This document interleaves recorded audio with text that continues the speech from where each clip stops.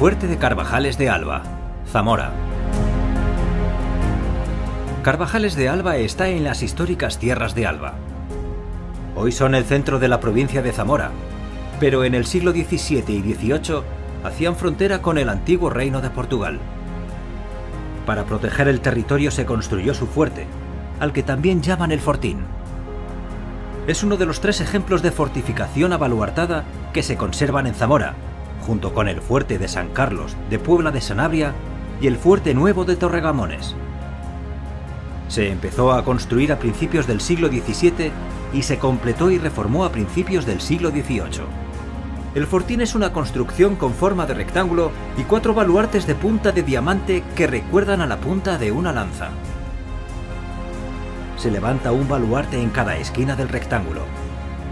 Alrededor de la construcción había un foso que hoy en día está ocupado por tierra y vegetación. Se conserva muy poco del fuerte original. Si lo miramos desde arriba, podemos ver su forma marcada por el foso, el lugar elevado donde estuvo la construcción y una elevación muy leve donde estaba el camino cubierto. Este camino rodea el fuerte por fuera del foso y permite a los soldados acercarse al enemigo. Gracias a los hermosos planos que dibujaron Robelén en 1721 y Moró en 1739, sabemos cómo estaba formado y conocemos los nombres de sus baluartes. En el lado suroeste encontramos el baluarte de Peña Corona y el baluarte Santa Engracia. En el lado noroeste están el baluarte San Amaro y el baluarte de Portugal. El baluarte de Portugal está forrado con un muro de mampostería, piedras de distinto tamaño que se sujetan unas a otras.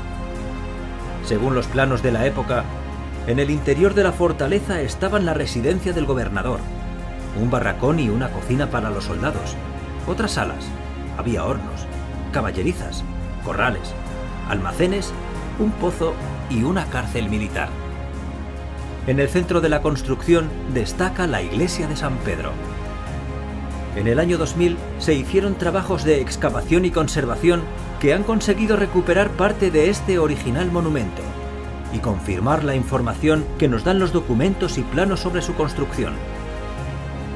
Gracias a estos trabajos podemos ver la profundidad original del foso en el lado norte, entre los baluartes de Portugal y San Amaro, donde también se ha reconstruido el puente que daba entrada a la fortaleza y podemos apreciar las plantas de ambos baluartes.